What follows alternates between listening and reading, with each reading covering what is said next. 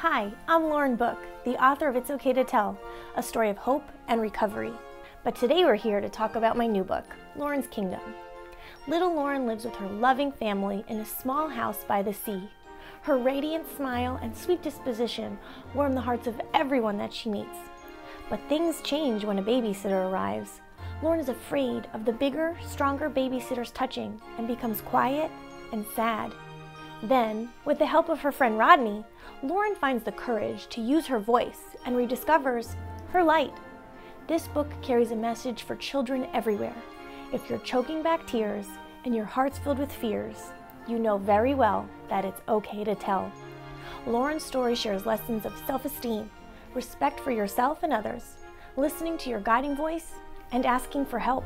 Lauren learns that if something doesn't feel quite right, it's okay to speak up and not to be ashamed. And there's a message to parents and other adults too to listen. An inspiring story that resounds with joy and teaches from a place of fun and not fear. Lauren's Kingdom comes out March 9th, 2015. I think it presents ideas we can all talk about in an honest and caring way.